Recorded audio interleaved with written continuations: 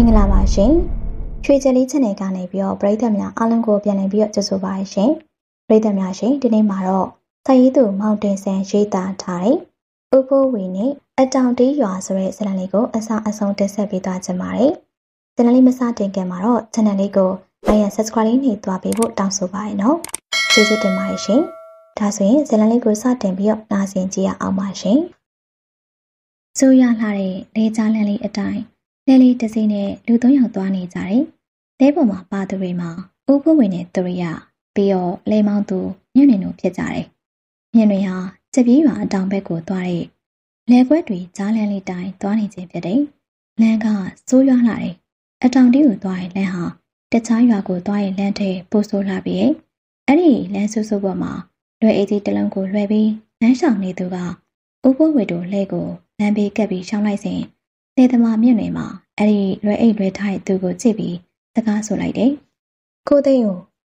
တောင်ထီးကိုသမင်သွားညှမ်းလို့လားဗျ။အော်ဘယ်သူများလဲလို့ရေပူကွက်ကကိုမြင့်နေမယ်။ဟုတ်ပါဗျာသမင်သွားညှမ်းပါ။အမေငယ်လေးတို့ဝိုင်းကခေါ်ထားလို့ပြော။လာဗျာလှဲ့ပေါ်တဲ့။ကျုပ်လည်းအမေငယ်လေးတို့အိမ်ပဲသွားမှာ။ဧည့်သည်တွေပါတယ်ဆိုတော့အမေငယ်လေးအိမ်ပဲတိတ်မယ်မဟုတ်လားဗျ။အခုနေသားအလုံးကအတောင်တီးရွာကို နာမည်အမှန်ဘယ်သူမှမခေါ်ကြပေတောင်ထီးလို့သာသုံးနှုန်းကြတာကများတယ်ဒီရွာနဲ့စိမ့်တဲ့သူတွေသာနာမည်မှန်ခေါ်ကြတယ်ဒီလိုနဲ့ဥဖို့ဝေတို့စေးလာတဲ့လဲလေးပေါ်ကိုနှမ်းထဆရာတဲဦးပါတက်လာပြီးအတောင်တီးရွာလေးစီကိုခရီးဆက်လိုက်ကြတယ်ပြင်ချက်ကြီးတွေကိုတံတားလှူထားတဲ့တစ်သားချောင်းရုပ်တံတားလေးကိုဖြတ်ပြီးလဲကိုမောင်းလိုက်တဲ့အခါအတောင်တီးရွာလေးကိုရောက်ပြီးဖြစ်တယ်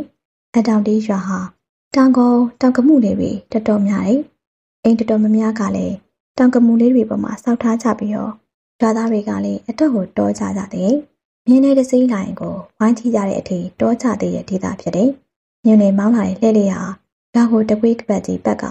ရွာအနောက်ပိုင်းရှိကျွန်းတိုင်လုံးကြီးတွေနဲ့အိမ်ဆောက်ထားပြီးပြင်အောင်ပြင်ကင်းအိမ်ကြီးရဲ့အိမ်ဝိုင်းထဲမှာလဲကိုရက်လိုက်တယ်။အိမ်ဝိုင်းကြီးဟာကျုံဝန်းလှတယ်လို့အိမ်ကြီးကလည်းကြီးမာပြီးအတော့ကိုလက်သမားလက်ရတေးတက်လွန်းလှပြီးရဲ့ အင်ကြီးရဲ့အောက်မှာဖုံဖုံအနုလေးပြီးနားစွာရှိနေတယ်လို့ကလေးတွေကလည်းအိမ်အောက်မှာစောကစားနေကြတယ်။အိမ်ဘေးမှာတောင်ကမို့လေးတွေရှိပြီးတောင်ကမို့လေးတွေဘေးမှာအမြင့်တွေကမြေကြီးပေါ်ပေါ်နေတဲ့ဆွေတော်ပင်ကြီးရှိရဲ့။ကလေးတွေဟာအဲ့ဒီဆွေတော်ပင်ကြီးရဲ့အမြင့်ကြားထဲဝင်ပြီးစောကစားနေကြတယ်။ဘိုးဘိုးဝေတို့အခုရောက်တဲ့အိမ်ကကလေးတွေအတော်ပေါ်လာတယ်။ယောက်ျားလေးမိန်းကလေးစုံလာတဲ့ကလေးတွေရဲ့စောကစားတန်ကအတော့ကိုညံစီနေတယ်။မြင့်တွေဟာလဲကိုရက်လိုက်ပြီး စံတစာကိုတဲုံလှဲပေါ်မှာဆင်းလိုက်တဲ့အခါစောကစားနေကြတဲ့ကလေးတွေကအတန်ကျဲလောင်စွာနဲ့တယောက်နဲ့တယောက်စကားဆိုနေကြတယ်။မောင်ပူရေစပင်ညက်ချကြီးလာတယ်။အမေကိုစပင်ညက်ပေးဖို့တော့ပြော။အေးအေးအေးအဖွားငယ်လေးဧည့်သည်တွေရောက်နေတယ်။အသက်73နှစ်ကျော်ကလေးမလေးတယောက်ကဘိုးဘိုးဝေတို့ကိုမြင်တဲ့အခါအင်ကြီးပေါ်ကိုကြည့်ရင်လည်းနှံ့អော်လိုက်တယ်။မကြတဲ့အချိန်မှာအသက်80ကျော်အမေအိုတူခါလီကုန်းကုန်း နဲ့ဒေါက်တာချောင်းကိုကန်ပြီးတော့အင်ကြီးရဲ့လှေကားပေါ်မှာဆင်းလာတယ်။ကလေးဝေရဲ့အတန်ကစူညံလွန်းတာကြောင့်အမေအိုဟာဧည့်သည်တွေဖြစ်တဲ့ဦးဖိုးဝေတို့ကိုကြည့်ကအာနာသွားပြီးအိမ်အောင်နဲ့အိမ်ဘေးမှာစော်ကစားနေကြတဲ့ကလေးတွေပဲလှည့်ကဒုတ်ကိုပြတ်လိုက်ပြီးဟဲ့ကလေးတွေအိမ်ပြန်ကြဒီမှာဧည့်သည်ရောက်နေတယ်။နင်တို့ထက်ဆိုရင်ပုံမှထင်းမုံတွေ့လားငါရဲ့တုံနဲ့ပြစ်လို့နင်တို့မမှန်ရင်အဲ့ဒီထင်းမုံကထင်းချောင်းနဲ့ပြစ်မှာသွားကြ။သမင်းလေးပါလေးလည်းပြန်စားကြအောင်။ဟုတ်ကဲ့ဖွားငယ်လေး ကလေးတွေဟာဘာစောတကမှမတိတ်ချက်ချင်းပြန်သွားကြတယ်။တချို့ကလေးတွေကအိမ်ကြီးပေါ်ကိုတက်သွားကြတယ်။အဲဒီခါမှဒေါငယ်လေးဟာဥပုဝေတို့ကိုအိမ်ရောက်ရှိသပွဲတရားမှာထိုင်စေကအိမ်အောင်လေဖုန်လေးကြီးပဲရေတွေမြစ်တွေကစားထားလေဒီအနောက်ပိုင်းကအကုန်လုံးဆွေမျိုးတွေမို့ကျမအိမ်မှာပဲလာကစားကြတာဟုတ်ကဲ့အမကြီးဒေါငယ်လေးဟာတရားမှာထိုင်လိုက်ပြီးအိမ်ကြီးပေါ်ကိုမောကြည့်ကဖေဖို့ဧည့်သည်တွေအတွက်အင်းဝေးချက်နဲ့အမိယူခဲ့ပါအောင် ဟုတ်ကဲ့အမေကြီးအဲ့နောက်ဒေါငယ်လေးဟာလေသမားမြင့်တွေနဲ့တန်းထဆရာတဲဦးကိုကြည့်ကညင်လေညဧည့်သည်တွေခေါ်တာမဟုတ်လားဟုတ်တယ်အမေငယ်လေးတဲဦးညစပင်လာညက်တာလားဒီနေ့တော့အရှိအိမ်မှာညက်ပေးလိုက်နေ့လေစာအိမ်ကိုလာစားကြလားဟုတ်ကဲ့အမေငယ်လေးကျွန်တော်စပင်သွားညက်လိုက်အောင်မယ်တခါလေးပြောရအောင်မေငါမျိုးတွေကိုစပင်ညက်ပေးတူတူတတိလေးတွေသာညက်ပေးဒီကလေးတွေကတန်းအိုးလေးပဲဟုတ်ကဲ့အမေငယ်လေး တန်သားဆရာတဲဦးဟာမြင့်နေနဲ့ဥပဝေတို့ကိုနှောက်ဆက်ပြီးဒေါ်ငယ်လေးရဲ့အိမ်ရှိရှိသူမရဲ့တာကြီးအိမ်ကိုထွက်သွားတယ်။အိမ်နောက်ဒေါ်ငယ်လေးဟာမျက်နှာကိုကြည့်ကမျက်နှာစီးပွားခြင်းကဘလို့ရှိလဲ။ဒီလိုပါအမေငယ်လေးရဲ့ပြေးတယ်လို့မပြေးတယ်လို့ပါပဲ။ဆန်လွေဆန်ယူသွားလေ။ဒီဘိုကြောင့်လေးကစံတင်းတင်သွားလိုက်။မလိုသေးပါဘူးအမေငယ်လေးရဲ့ဒီကဧည့်သည်တွေကဒီဘက်ကိုလာခြင်းနဲ့ဆိုလိုက်ပို့တာပါ။ဟုတ်လား။ကဲ ဧည့်သည်တို့ဒီမှာဘာကူညီရမလဲ။ဒီဘက်မှာထူးထူးဆန်းဆန်းကိစ္စတွေရှင်ကုညီပေးချင်လာတာပါကျတို့ဆရာတပည့်နှစ်ယောက်ကရွာစင်နှက်နေတာပါဧည့်သည်ကြီးတို့ကအထက်လန်းဆရာတွေလားဟုတ်ပါတယ်အမကြီးဒါဆိုရင်တော့ဟန်းကြတာပဲရွာတောင်ပိုင်းကငအုံးရဲ့အိမ်နန်းကိုညဆိုဘယ်သူမှမဖြစ်မသွားရဲကြဘူးအဲ့ဒါကုညီနိုင်ကုညီသွားစမ်းမအောင်ဟုတ်ကဲ့ကျုပ်တို့ကုညီပါမယ်အမကြီးဧည့်သည်ကြီးတို့ဘမတဲကြမှာလဲရွာဦးကျမပဲတဲမလားလို့အဲ့ဒါကောင်းပါလေ ကျမအိမ်မှာဆိုပြောမရဆိုမရခလေးပင်နဲ့စူးညံ့နေတာအဲ့နောက်ဒေါ်ငယ်လေးဟာအိမ်အောင်တန်းရပေါ်မှာထိုင်ရင်းနဲ့အိမ်ဝိုင်းတောင်ဘက်ကိုလက်ကြည့်ပြီးညုံဝင်းရေညုံဝင်းရအမေကြီးလာပြီးပြအတန်းနဲ့တူသူရိယာထဲအသက်အနှဲငယ်ကြီးရဲ့ကောင်းလေးတယောက်တုတ်သီးတုတ်ပြနဲ့ဒေါ်ငယ်လေးရဲ့အနာကိုရောက်လာတယ်အမေကြီးဘာခိုင်းမလဲဗျဧည့်သည်တွေကိုရောက်ကြောင်လိုက်ပို့လိုက်ရတော့ကိုငါလွှိုက်တာလို့ပြောကြလားဟုတ်အမေကြီးပြီးရင်နင်းလဲ ဒီကဧည့်သည်ကြီးတွေနဲ့အတူတူညနေရွာတောင်ပိုင်းကငအုံးအိမ်ကိုပို့ပေးလိုက်နေ့လည်စာထမင်းစားချိန်ငါတဲ့ရောက်လှုပ်ပြီးတော့ခေါ်ခိုင်းလိုက်မယ်ဟုတ်အမေကြီးဒါနဲ့ဧည့်သည်တွေကိုလိုက်ပြရမှာဟိုကျိုးဆွဲချပြီးတော့တည်သွားတဲ့လူကြီးအိမ်လားအမေကြီးအေးဟုတ်တယ်ဟုတ်ကဲ့ကျွန်တော်ပြလိုက်ပါမယ်ညင်ဝင်းဆွေအကောင်လေးကမတ်တရက်ပြီးကိုဖိုးဝေတို့ကိုစောင့်ဆိုင်ကနေရဲ့ကိုဖိုးဝေတို့ဟာတောင်ငယ်လေးကိုနှုတ်ဆက်ပြီးတော့ရွာဦးချောင်းကိုတန်းလျှောက်ပြီးတော့တွားကြပါလေရော်တယ်ကိုဖိုးဝေတို့ကရွာဦးချောင်းရှိ မကြီးပင်ကြီးအရှိအောင်ကိုပြစ်မှာထိုင်းရင်စကားစမြည်ပြောနေကြတယ်မောင်မြင့်တွင်ဦးကြီးတို့အခုလာတဲ့အိမ်ကအမကြီးကျောင်းတင်ပြပြပါလားအတော့ကိုသဘောကောင်းပုံပဲအမေငယ်လေးတို့လူမျိုးကတော့ကျွန်တော်ဘဝတစ်လျှောက်လုံးတစ်ခါမှမတွေ့ဘူးပါဘူးဗျာဘာဖြစ်လို့လဲဗျညနေဘေးမှာထိုင်နေတဲ့သူရိယာမှာတိကျင်စိတ်ကြည့်ပြီးဝင်ရောက်မိလိုက်ခြင်းဖြစ်တယ်စိတ်သဘောထားကောင်းချက်ကတော့ကွာလွန်လွန်ပါလေရွာထဲကဆန်မရှိဘူးမလားအမေငယ်လေးစီသွား စအိတ်တဲကယူသွားပဲစီမရှိဘူးလားအိမ်ဘောကစင်အိုးထဲမှာခတ်သွားအဲ့လိုပေးတာတရွာလုံးကလည်းအမေငယ်လေးလိုပဲခေါ်ကြတယ်။အဲ့လိုပေးနေတာသူ့သားရဲ့သမီးတွေကမပြောကြဘူးလား။မပြောကြပါဘူး။သူ့သားရဲ့သမီးတွေကလည်းအများသားအမေငယ်လေးအိမ်ရှိကအိမ်ကသူ့သားကြီးအောင်သိနဲ့အမေငယ်လေးနဲ့ဆိုငါအထင်အသက်၁၇နှစ်လောက်ပဲငင်းမဲ့တယ်နဲ့ဒါဆိုအမေကြီးကငယ်နဲ့အိမ်အောင်ကြတာပေါ့။15ကျော်ကျော်လောက်နေမှာပေါ့ကွာ။ အခုအိမ်မှာရှိတဲ့သားတွေကအမေငယ်လေးကိုစိတ်ကြိုက်ထားတာပေးချင်တာပေးကမ်းချင်တာကမ်းမယ်ဟုတ်လားတပြလုံးကလည်းအမေငယ်လေးကျေစုမကင်းကြပါဘူးအမေငယ်လေးဆိုခလေးအစလူကြီးအစုံတရွာလုံးပြီးရပြီးတော့အမေငယ်လေးကအရက်လက်တယ်လေသူကမီးလက်လက်ကဖွားပြီးတယ်မင်းနေတဲ့အတွက်အစားအသောက်တွေလေသူ့သားတွေကိုလာဖို့ခိုင်းတာအမေငယ်လေးလောက်စိတ်သဘောထားကောင်းတယ်လို့မျိုးမတွေ့ဘူးသေးပါဘူးတန်ဆိုချက်ပြေးကိုလှည့်ပြီးနေကြိတ်ထားတာဒီဆိုရင်လေ အိမ်မမစင်အိုးတွေနဲ့ကိုတိတ်ထားတာမရှိတဲ့သူတွေကတော့ဆန်မရှိဘူးဆိုအမေငယ်လေးဆိုပြီးသဘောလေးနဲ့တွားယူကြရလေအာနာလို့လာမိတဲ့သူတွေဆိုအမေငယ်လေးကသူ့ကိုယ်တိုင်ဆက်အိတ်ကောင်းပေါ်ရွက်ပြီးတွားပို့တာပေနာကောင်းလို့ထင်ပါရဲ့သူတို့လေရီယာတွေကဖြစ်လိုက်တဲ့သေးညံနေပြအံ့ဩယူရတယ်နဲဆိုလေတခြားသူတွေထက်ပိုထွက်တယ်ပေပြောင်စပါဘားဆိုင်ဆိုင်တခြားသူတွေထက်ကိုဖြစ်ထွန်းနေတာပို့ဖို့ဝင်တဲ့သူရိယာကမြင်မြင်စကားနားထောင်ကဒေါငယ်လေးကို အတော့ကိုလေးစားနေမိရဲ့ထိုစဉ်သူတို့ရဲ့အနာကိုရွာထဲမှာလူငယ်လေးတယောက်ရောက်လာကကိုညုံဝင်းအမေကြီးကထမင်းစားရအောင်ခေါ်ခိုင်းလိုက်လို့အေးအေးမောင်ဖို့ငါခေါ်ခဲ့မယ်ခေါ်ခဲ့မယ်ဆိုလေအခုခေါ်ကျုပ်ကဧည့်သည်မပါဘဲတယောက်တည်းမပြင်ရဘူးဥပဝင်းနဲ့တရိယာကညီကိုရီဖြစ်ရန်ရှိရဲ့ညုံဝင်းနဲ့မောင်ဖူးရဲ့စကားကိုစိတ်ဝင်တစားနားထောင်နေကြတယ်မောင်ဖူးကိုတောင်ငယ်လေးမှထမင်းစားဖို့ခေါ်လိုက်ခြင်းဖြစ်တယ်အဲ့ဒီအတွက်ဥပဝင်းနဲ့အတူတူထိုင်နေတဲ့ ညုံဝင်းကိုသူတို့အားခေါ်ခိုင်းနေခြင်းဖြစ်တယ်ဒေါငယ်လေးဟာသဘောမနှောကောင်းပြီမဲ့လေစိတ်ကမရှိဘူးသူမအိမ်ကိုဆန်တောင်းတဲ့သူတွေဟာသူမပေးတဲ့ဆန်တွေများနေရကြောင်းအာနာကအမေငယ်လေးရဲ့များနေပြီဒီလောက်ကလေးပဲယူမယ်ဟိုလောက်လေးပဲယူမယ်လို့ပြောမရသူပြီးရင်ပေးတဲ့လောက်ယူရမယ်မယူဘူးလို့ပြောရင်ဆဲဆိုပြီးပေးတတ်တယ်အများအားဖြင့်တော့ဆန်တောင်းသူတွေကိုကိုယ်တိုင်လိုတဲ့လောက်ယူခိုင်းတာများတယ်ဒါကြောင့်စိတ်ဆက်တဲ့အမေကြီးဖြစ်သူကိုမြေဒီမှာကြောက်ကြရတယ်အဲ့တွေမောင်ဘုက ဧည့်သည်ရင်းနဲ့သာတခါလေးလိုက်မှဖြစ်တယ်ဒီလိုနဲ့ဥဖို့ဝေတို့ဟာမောင်ဘုခေါ်ရဒေါငယ်လေးရဲ့အိမ်ကိုသူယုံပြီးတော့တားလိုက်ကြပါလေရောတယ်။ဦးဖိုးဝေတို့ရောက်သွားချိန်ညရန်ကြစရာတဲုံကထမင်းဝိုင်းမှာရောက်နေပြီထမင်းဝိုင်းကကျွန်းစပွဲအဝိုင်းတော်တော်ကြီးကြီးပေါ်မှာဟင်းမျိုးစုံစိုးစွာတင်ထားတယ်ဒေါငယ်လေးကသူ့ရဲ့မြေးမလေးတွေကိုလိုအပ်တာတွေကိုမှားချနေတယ်ဖြစ်ဖို့ထမင်းမပြတ်စင်နဲ့နော်ဧည့်သည်တွေစားနေတော့တယ်တော့ဟိုဝါကုန်းနေတရားမရှိဘူးကြားလို့ကတော့ နှစ်ပိုက်ကျော်ပြက်ပိတာမှတ်ဟုတ်ကဲ့ပါအမေကြီးရဲ့အမမီတင်းကြီးတို့ကြတော့မခိုင်းဘူးဟဲ့ရွှေဖို့နေရငယ်လို့နေကိုခိုင်းတာလေဟိုဝါမတွေကိုဧည့်သည်တွေနဲ့တရုံရုံလှုပ်ခမ်းလိုက်လို့ကတော့လင်တန်းရမှာဟေးငါတော့16နှစ်နဲ့လင်ရတာအမျိုးကိုကလင်အစောရတဲ့အမျိုးဦးဖိုးဝေတို့ဒေါငယ်လေးကိုမသိမသာကြည်လာမိဒီမျိုးသမီးကြီးဟာစိတ်ထားသာကောင်းတယ်လို့ပြောကြတယ်အပြောကအတော်ဆိုးရလို့စိတ်ထဲတွေးလာမိဘလို့ပင်ဆိုစီကမို့ တခါမှမသိကြံဘူးတဲ့သူတို့နှစ်ယောက်ကိုလူလီသေးမရှိအဝတ်ပြုတ်နေရကအတော့ကိုအံ့ဩစရာကောင်းနေမဟုတ်လားဧည့်သည်ကြီးအားမနာကြနဲ့နော်ကျမတို့ရွာဟိုအဆိုးကြော်လို့စဘာတောင်လို့မပုံပေမဲ့ကြည်တဲ့တော့အပြေးတော့ပြီးတော့စီကိုရေချိုးလို့ရပေမဲ့အတော့ကိုအနေခက်မှာမလို့မချိုးဘူးစေယိုမီးတောင်နဲ့စေယိုတော့မီးမလောင်ဘူးကြံမြစ်ပဲမီးတောင်နဲ့စားကြအားမနာနဲ့အားနိုင်ကိုပဲငတ်မှာ ဒေါ်ငယ်လေးဟာသူမပြောတဲ့စကားကိုသူမကိုယ်တိုင်သဘောကျပြီးပြောရင်းနေတယ်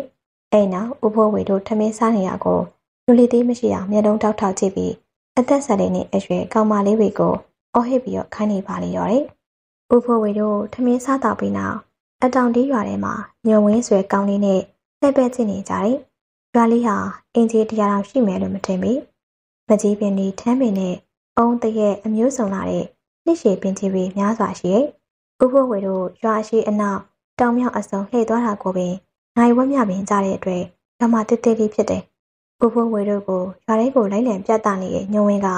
ဥဖိုးဝေတို့ကိုရွာလေးရှိထူးဆန်းတဲ့နေရာတွေကိုလိုက်လံပြသပြောဆိုနေရဲ့။ရွာအနောက်ဖက်တောင်လေးရှိထိတ်မှာတပင်နဲ့ပေါက်နေတဲ့တရက်ပင်ကိုလက်ညှိုးထိုးပြကညုံဝင်းကစကားဆိုတယ်။ဦးကြီးတို့အဲ့ဒီတောင်ပေါ်ကတရက်ပင်နဲ့တောင်ကိုမတ်သိန်းဝေတရက်ပင်မတ်သိန်းဝေတောင်လို့ခေါ်တယ်။ဟေး အဆက်မလားဘာဖြစ်လို့လဲကွယ်။อืมပြောရရင်တော့အဲ့ဒီတရက်ပင်မှာမတ်သိန်းဝေကိုနွားအဝေးခင်ရပြီးတေးတာ။သူ့ယောက်ျားစိုးပါတယ်ဗျာ။မင်းကြီးထွက်ခါစကြီးကိုအဲ့ဒီတရက်ပင်မှာခြေခဲ့တဲ့နွားကိုတွားကြောင်းခိုင်းတာ။နွားဘာဖြစ်တယ်မသိပါဘူး။မတ်သိန်းဝေကိုတွေ့ရနဲ့ဝေ့တာပဲ။မတ်သိန်းဝေအလောင်းကြီးကိုသူ့ယောက်ျားအိမ်ပြန်မတယ်လို့အမေကြီးကသူ့အိမ်အောင်မှာထားခိုင်းထားတာကြောက်စရာကြီးဗျာ။အော်အဲ့နောက်ရွာလဲရှိ မကြီးပင်နေအုပ်ဆိုင်နေတဲ့တောင်ကုန်းလေးကိုပြကအဲ့ညာကလည်းအတော့ဆိုးရဗျာကျွန်တော်အကိုပန်းခွဲမိမမီးနေဝင်းရက်ကြီးနဲ့ဆုံးသွားတာတယောက်လည်းမဟုတ်နှစ်ယောက်လည်းမဟုတ်ဆုံးတာလေးယောက်ရှိပြီဆိုတော့ဘယ်သူမှမနေရတော့ပါဘူးဗျာဟုတ်လားမောင်ရင်တို့ရွာကအတော်ထူးဆန်းတဲ့နေရာတွေပေါ်တာပဲကွယ်ပေါ်တာပေါ့ဗျာလာလာကျွန်တော်ပြအောင်မယ်ညုံဝင်းဟာတောင်ကုန်းလေးပေါ်တက်သွားလိုက်ပြီးဗတိုင်းသေးတွေများစွာပေါက်နေတဲ့လူမနေတဲ့အိမ်ဝိုင်းကိုလက်ညှိုးထိုးပြက ဒီအိမ်ဝိုင်းဆိုလေဘယ်သူမှမနေရဘူးညာဆိုမီးလုံးတွေကဟောဟိုကမကြီးပင်တွေကိုတပင်နဲ့တပင်ကူးကူးနေရတယ်ဗျဟုတ်လားနောက်တဲ့နေရာတွေလိုက်ပြပါအောင်ရွာတောင်ပိုင်းကပိန်းနေပင်တွေအများကြီးနဲ့တရေချောက်တဲ့အိမ်ပြမယ်ညုံဝင်းဟာရှေ့ဆုံးမှာဦးဆောင်ပြီးသွားနေပြီရွာတောင်ပိုင်းကိုရောက်တဲ့ကပိန်းနေပင်တွေများစွာရှိအိမ်ဝိုင်းထဲမှာအိမ်တလုံးကိုလက်ညှိုးထိုးပြရင်အမေကြီးပြောတဲ့ငအုံးအိမ်ဆိုတာအဲ့ဒါပေါ့ဦးဖွင့်ဝေကညုံဝင်းလက်ညှိုးထိုးပြတဲ့အိမ်ကို တေချာကြည့်လိုက်တယ်အိမ်လေးဟာလေးပင်သုံးပင်အိမ်လေးဖြစ်ကတက်ကယ်မိုးထားပြီးအကအရင်ထရများကရှိမနေတော့ပြီအိမ်ဝိုင်းထဲမှာပိန်းနေပင်တွေများစွာပေါက်ရောက်နေပြီးတခြားအပင်တွေလည်းရှိနေသေးအဲ့ဒီအိမ်ရဲ့အနောက်ဘက်လမ်းမှာအခုဦးဖိုးဝေတို့ရက်နေခြင်းဖြစ်တယ်အဲနောက်ညုံဝင်းဟာသူတို့ရက်နေတဲ့အပင်အရေးတွေများကျနေတဲ့လမ်းလေးကိုပြပြီးဒီလမ်းကနေရွာတောင်ပိုင်းအစွန်ဆုံးမှာနေတဲ့သူတွေကသွားရတာလေနေဝင်မိုးချုပ်ပြီးဆိုရင်သူတို့တွေဒီလမ်းကမဖြစ်ရတော့ဘူး အဲ့တော့ဦးကြီးတို့လာတဲ့ချက်ပြေးသွားတဲ့လမ်းဘက်ကိုလေကတင်းတွေကနေတကွေးတစ်ပတ်သွားပြီးရွာထဲကိုဝင်ရတာဆိုတော့တော်တော်ဒုက္ခများတယ်။อืมနေရနဲ့ဝင်နေတာပေါ့ဘလူတွေများ၆လန့်နဲ့မောင်ရင်လေးသိတာတချို့လူတွေပြောကြတာတော့အဲ့ဒီအိမ်ပေါ်မှာကျိုးတလန့်ကြီးနဲ့ခြေကျွဲချလေကြီးရမ်းကာနေရလို့ပြောတာပဲပြီးတော့ဒီလမ်းမှာလေနောက်ကျောပေးပြီးမုတ်တို့ကြီးထန်းနေတက်သေးရဲ့ဗျ။လေဘင်းမှာလေကျိုးတလန့်ကြီးနေတဲ့ဦးရဲ့ဦးဖို့ဝေဟာညုံဝင်းပြောပြတဲ့ အခုအိမ်နဲ့လမ်းမှာ၆လန့်တဲ့အကြောင်းတွေကိုနားထောင်ရင်းနဲ့ဒေါငယ်လေးအိမ်ကိုပြန်လာကြပါလေရော်တယ်။ဦးဖိုးဝေတို့ကိုညနေဆောင်တွေကညနေစာဖြင့်တိတ်ခဲအက်ကန်နေအိမ်အောက်မှာရှိတဲ့ကလေးတွေရဲ့အော်ဟစ်စကားတန်တွေကြောင့်ဒေါငယ်လေးရဲ့အိမ်မှာစူညံနေဒီလိုစူညံနေနေရဒေါငယ်လေးဟာဥပဝေတို့ကိုအာတုအာနာပြစ်ပြီးမရင်းပေါက်မှနေပြီးအသင့်ရှိရဲ့ထင်းချောင်းတစ်ချောင်းကိုပြစ်ချလိုက်ပြီးဟဲ့ခလေးနာလေးပဲနင်တို့အိမ်မရှိကြဘူးလားဧည့်သည်ထမင်းစားနေတာ နင်တို့ကအောက်ကနေစူညံနေတယ်အိမ်လေးပါလေးပြန်ပြီးထမင်းမြူကြအောင်သူရိယကဒေါ်ငယ်လေးရဲ့စကားကြောင့်ထမင်းပင်နှင်းချင်းတို့ဖြစ်မိသွားတယ်ဒေါ်ငယ်လေးရဲ့စကားကအဲ့လောက်နဲ့မရဲ့နင်တို့အဖေမေတွေကိုလည်းအိမ်ရောက်မေးလိုက်ကြအောင်ကျွန်တော်တို့ကျမတို့ကတစ်ကောင်းပုတ်တွေလားလို့လုံလုံးပါတယ်တော့ငါအိမ်ရောက်ဆင်းကြည့်လို့ခလေးတွေ့ရင်တွေ့တဲ့ခလေးထင်းချောင်းနဲ့ပြစ်မယ်ဒေါ်ငယ်လေးပထမထင်းချောင်းပြစ်လိုက်တာနဲ့ကလေးတွေအပြည့်ပြည့်ဖြစ်တယ်။သူမရဲ့မြေတွေမြစ်တွေဖြစ်ကြပြီး သူမစိတ်ဆိုးနေခြင်းခဏသာပြေးသွားကြပြီးနောက်နေ့ပြန်ရောက်နေမြဖြစ်တယ်။ကလေးတွေအသက်မကျတော့မှဒေါ်ငယ်လေးဟာဦးဖိုးဝေတို့ထမင်းစားနေနေရကိုသွားပြီးဧည့်သည်တွေစားချက်တော့ကြနော်။ဘာမှအာမနာနဲ့အနောက်ကထက်တာစမ်းအိတ်တွေစမ်းအိတ်ဘေးကဆင်းအိုးတွေကစီတွေကြွားလာတာမဟုတ်ပါဘူး။အာမနာရအောင်ပြောတာပါ။တော့ကြောင့်ဧည့်သည်တွေမျိုးမကြမှာစိုးလို့ဦးဖိုးဝေတို့ဘာစကားမှမပြောပြုံးပြီးတာထမင်းစားနေကြတယ်။အဲ့ဒီနောက်ထမင်းစားတို့ပြီးရဲ့အခါ ကျန်တကာတွေနဲ့အချို့ဘက်ကိုပြင်ဆင်ပေးပြီးစကားစမြည်ပြောပြကြတယ်။ဧည့်သည်ကြီးတွေကိုမြင်တော့ကျမယောက်ျားရောင်းတောင်းတောင်းပေါင်းတောင်းကူတောင်တရိယာမိတာ။ဘာဖြစ်လို့လဲအမကြီး။อืมကျမယောက်ျားကအထက်လန်းလိုအောက်လန်းလိုပါပဲ။ဟောဟိုကစင်ဘော်ကိုကြည့်။ရင်းမြင်ကြောင်စုတ်တန်တွေနဲ့ရှိတယ်။ဖျားစင်မှာကကြီးစင်ငယ်လိုက်ကျွန်းနဲ့သားနဲ့ထုထားတယ်ရဟန်းရုပ်တွေလည်းရှိသေးတယ်။သူကတေးတာသွားတယ်။ကျမယောက်ျားကိုအထက်လန်အောင်လှလားမသိပါဘူးတော့ ဥဘဝေဘာစကားပြန်ပြောရမယ်ဆိုတာစဉ်းစားမရဖြစ်နေရဲ့လုံပွင့်နေနေရှိလာတဲ့ဒေါငယ်လေးဟာဥဘဝေကိုကြည့်ပြီးအဲ့တဲ့ကြီးနာမည်ကဘာတူလဲပြောပါအောင်ကျုပ်နာမည်ကဖိုးဝေပါဟောဟိုကကောင်လေးကကျုပ်တပည့်သူရိယာတဲ့ဖိုးဝေဆိုတော့ကျမရဲ့ခမဲခမဲဖိုးဝေကိုအမတ်ရမိပြန်ရောအဲ့ဒီဖိုးဝေကကျွေးနွားသက်ဝတ်သက်ဖိုးဝေပါဂျပန်လေးနဲ့ရွာကိုပါလာပြီးဒီမှာအခြေချပြီးနေဆိုပါတော့နောက်တော့ ကျမသားအလဲတိုးမောင်နေသူသမီးနေညတော့ခမိခမတွေတော်တာပေါ့အခုတော့ဆုံးတော့ပါပြီမကြခင်သားသမီးတွေမကောင်းတော့စားရမမဲ့တောက်ရမယ်ဖြစ်နေရနဲ့ကျမဝိုင်းတောင်ပဲပေးမှာအင်းဒီတလုံးဆောက်ပြီးနေခိုင်းထားတာအခုတော့ဝိကျွတ်ပြီပေါ့လေသူ့လောကမှာကျင်းနေနေသည်အမကြီးပြောသလိုကိစ္စတွေကတော့ရှိနေအောင်ပါပဲတကယ်တော့ကိုချင်းစာစိတ်ပါပဲမိဘတွေကလည်းသားသမီးတွေကိုအကျိုးချပြီးပြုစုခဲ့ရင်တော့သူတို့မျှော်မှန်းထားတဲ့အကျိုးမရရင်စိတ်လိုမကြတော့ သားဆိုသားမိုက်သမီးဆိုသမီးမိုက်တွေဖြစ်တသွင်းလိုက်ရောသားသမီးတွေကိုငါမွေးထားလို့နင်တို့လူဖြစ်တာဆိုတဲ့အပြောမျိုးကျမတက်တက်မပြောခဲ့ဘူးကျမခံယူချက်ကတော့သူတို့ကျမတို့ကခေါ်ခဲ့တာအဲ့တော့ကျမတို့အဆင်မပြေတဲ့အချိန်ရုန်းကန်နေရတဲ့အချိန်တွေဆိုကျမသားတွေသမီးတွေကိုဒီလိုအဆင်ပြေတဲ့ဘဝတည်းဆွဲသွင်းမိလို့ဒီမကောင်းဖြစ်တဲ့အကြောင်းပြောပြဖြစ်တယ်ကျမသားတွေသမီးတွေကပဲညံကောင်းလာလားကျမကပဲကံကောင်းလာလားမသိပါဘူးစူးစမ်းပြီးအလုပ်လုပ်တယ် ကံလေးကလည်းကောင်းတယ်ထင်ပါရဲ့ပေးနိုင်ကမ်းနိုင်လာတယ်ဒါနဲ့တခြားသူတွေပြောတာအမေကြီးကဖုန်းကြီးเจ้าနေမလို့ဆိုဒေါငယ်လေးစကားဆုံးတဲ့ကသူရိယာမဝင်မေးလိုက်ခြင်းဖြစ်တယ်ဒီကဒေါငယ်လေးဟာတစ်ချက်ပြောလိုက်ကငါမြည်ရဲ့ကျောင်းကိုလှူတဲ့သူတွေကအများသားခွဲကျောင်းမှာရှိတာရွာကဆရာတော်ပါဝင်၄ပါး၅ပါးပေါ့သူတို့ကိုရွာကကြော်လင်တို့မောင်ဝင်းတို့ကြော်စိန်တို့ကလှူတော့ပြည့်စုံနေပြီရွာကလည်းမရှိရမရှိတဲ့သူတွေက ဝမ်းစာစပါးတာမရှိဘူးလေပထမစပေးကန်တော့ကမန်နီကိုပြီးတော့မဖြူကမျက်နှာငယ်လေးနဲ့ဖြစ်နေပြန်ရောမပြကိုစမ်းလေးပြီးတော့မညိုကတနာကမာလေးဖြစ်နေပြန်ရော